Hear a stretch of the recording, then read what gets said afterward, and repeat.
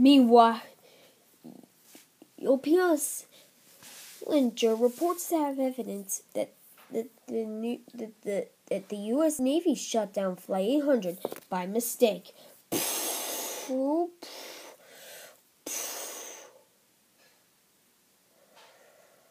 We are now very sure that what we are saying is true.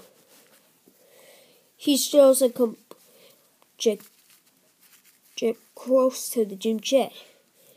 So what we see here is a missile about to hit TWA 800. Many P.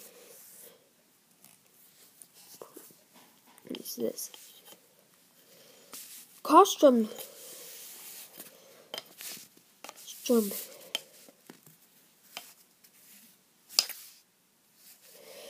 Was about, about an Navy sub, which was at sea 350 kilometers south of our Long Island.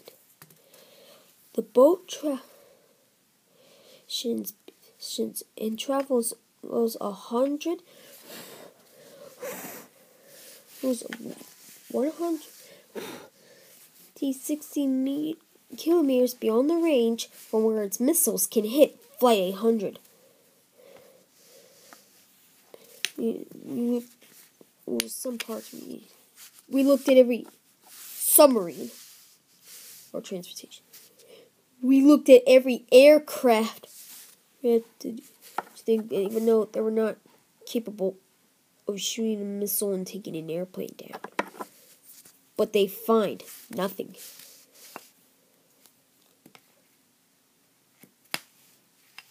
The thing that PSS was a major thing called radar ghosting. It has a mirror of Premier edge Flight 18 flying nearby. The friendly fire theory cost thousands of hours time and exhausted costume and possibilities. I can assure you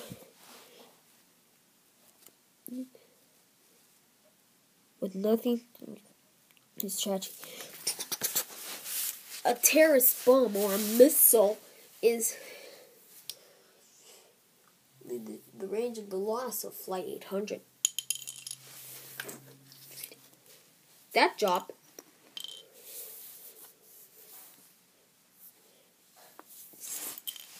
They need to have strange forces. That job for, forces the na- scares the National Transportation Safety Board, the NTSB. The only goal to find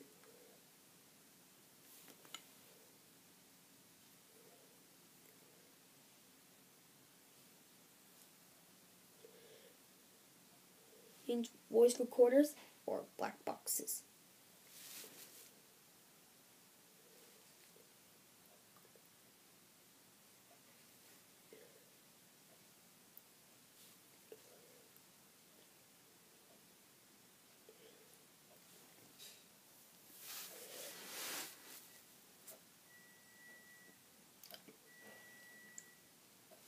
They, they, since the day after the crash, maybe died Gary, I'm looking for, for the black boxes.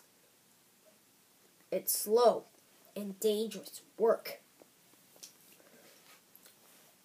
Six day, days after the disaster, and there's no sign of the black boxes, it's probably clear that the ocean carriers have buried them in the sand. Then, on day seven, a diver spotted something. A flash of orange. The cockpit voice recorder, that's it! You see right on it? You want to take a picture of it? Alright! It's the cockpit voice recorder.